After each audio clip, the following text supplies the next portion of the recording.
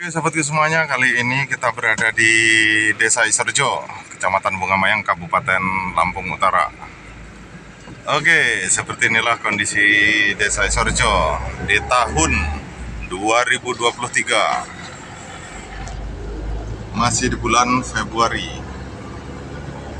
Kembali lagi bersama channel Channel Lampung. Kali ini kita akan review Jalan Desa Isorjo untuk seluruh sahabatku semuanya yang saat ini sedang berada di perantauan atau sedang tidak tinggal di desa Sorjo, silahkan simak terus video ini untuk mengobati rasa kangen kalian semuanya. Seperti inilah kondisi jalannya, tidak lebar tapi lumayan bagus seperti yang kita lihat. Ini masih di seputaran Desa Isorjo RK2. Jadi urutannya RK2, RK1. Nah, setelah RK1 nanti ada Tugu Bentol ya, yang ke kiri ke RK3, yang lurus ke RK4.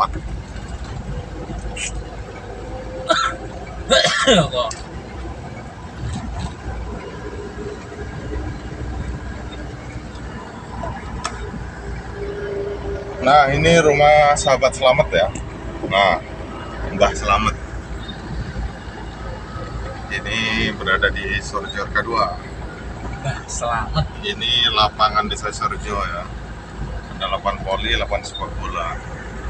Ini Desa Sorjo ini masuk wilayah Transmigrasi Wai Abung 3.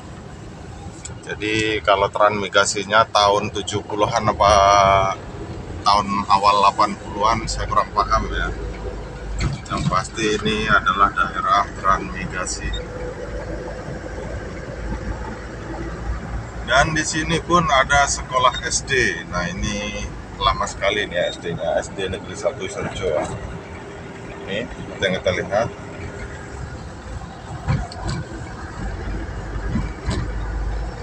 Mayoritas pertanian sini ada kebun sawit karet tebu ada juga singkong kalau bahasa di Lampungnya kikim ya. Jadi simak terus videonya. Masih di seputaran desa Isorjo. Nah, ini jadi RK2 dan RK1 ini dibatasi oleh sungai kecil atau kali. Namanya ini Wai Tulung Heni. Jadi ceritanya dulu si Heni minta tolong apa gimana nggak tahu juga saya sejarahnya. Kecil ya. Luni, Wai Luni. Dan di sini pun ada makam keramat ya. Ini Banggong nyebutnya di dalam situ ya. Oh, Itu ya. Kalau dulu banyak jarak ke situ ya. Dulu. Sekarang nggak tahu ya. Numpang lewat Banggong, Nah ini seperti yang kita lihat ya kebun karetnya ini udah tua atau udah besar-besar.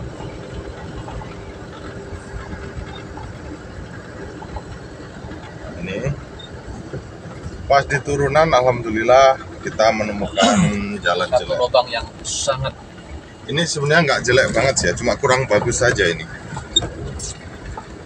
kurang mandiri. Ini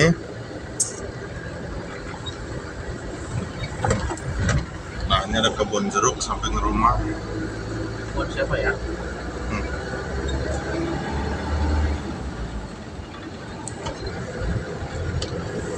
Nah, ini kita memasuki wilayah desa Isorjo RK1.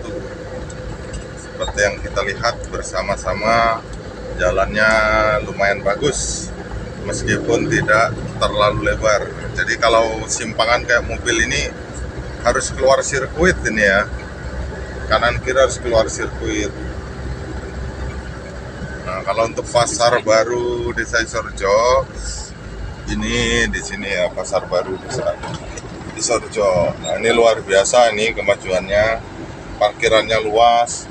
Ini bangunan masih baru. Tapi jangan tanya nih anggarannya habis berapa. Saya nggak tahu ya karena saya bukan panitia. Nah, ini desa Sorjonya. Dan di sini ada balai desa atau balai kampung. Kalau sini bro, bukan sini bro. Dan di kanan ini ada Polsek, Polsek Bunga Mayang, Kabupaten Lampung Utara. Nah, kali ini kita berhenti di kediaman Bapak Haji Bambang Sutran. Nah, ini ya. Kita berhenti di kediaman Bapak Haji Bambang seperti yang kita lihat. Nah, ini rumah Pak Haji Bambang.